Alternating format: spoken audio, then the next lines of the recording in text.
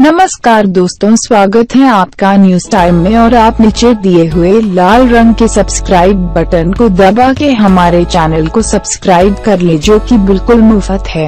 मध्य प्रदेश के छतरपुर ज़िले में एक अनोखा मामला सामने आया है, जहाँ बच्ची को जन्म देने के बाद अस्पताल में माँ को मृत घोषित कर दिया गया। परिजन बॉडी घर ले आए और अंतिम संस्कार की तैयारियाँ शुरू कर दी, जैसे ही शव को अर्थी आरोप लिटाया गया, तभी बॉडी में हरकत मौत हुई घर वाले उसे फिर से एंबुलेंस में लेकर छतरपुर जिला अस्पताल भागे, लेकिन रास्ते में ही एंबुलेंस में लगे सिलेंडर की ऑक्सीजन खत्म हो गई। इससे महिला की हालत खराब हुई और अस्पताल पहुँचने से पहले ही उसकी मौत हो गई। डर के मारे एंबुलेंस चालक महिला को स्ट्रेचर पर उतार कर एंबुलेंस लेकर भाग खड़ा हुआ जिला अस्पताल में एक बार फिर महिला को डॉक्टरों ने मृत घोषित कर दिया नगर के कस्बा के वार्ड नंबर बारह, खुसमा निवासी अरविंद अहिरवार की 28 वर्षीय पत्नी भागवती को शुक्रवार दोपहर 12 बजे डिलीवरी के लिए भर्ती कराया गया। दोपहर करीब एक बजे उसने स्वास्थ्य बच्ची को जन्म दिया। डिलीवरी के कुछ घंटों बाद शाम करीब पाँच बजे भागवती की सांस बंद हो गई तो परिजन उसे लेकर घर चले गए, चूँकि उसके शरीर